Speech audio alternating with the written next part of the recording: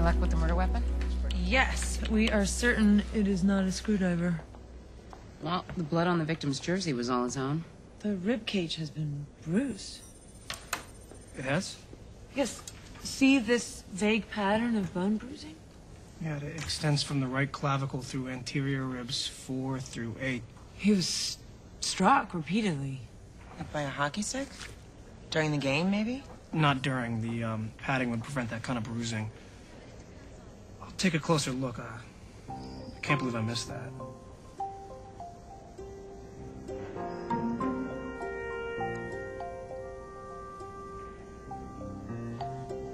No, I can't believe you missed that either.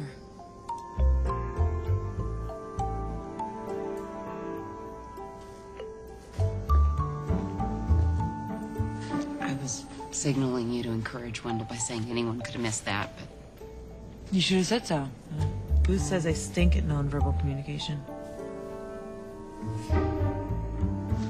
She said in the back. Just don't be pulling your gun until you go through the kitchen or Mama's on there's gonna hit the panic button. Go. Just go.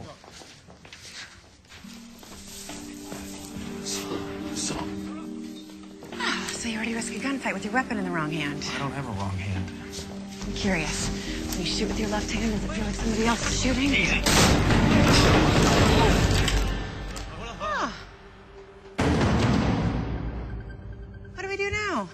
Okay, FBI. Okay, I'd reach for my badge right now, but you know, I. Drop your weapons, please. Please.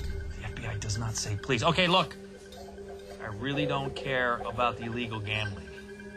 I just want to talk to a guy named Albie about a guy named Pete Carlson.